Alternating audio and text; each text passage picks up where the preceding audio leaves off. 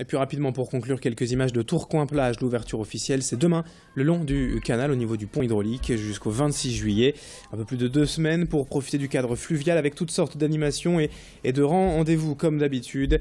Rendez-vous demain donc près du canal de Tourcoing, près du pont hydraulique, pour deux semaines de festivités avec Tourcoing-Plage. Nous y serons.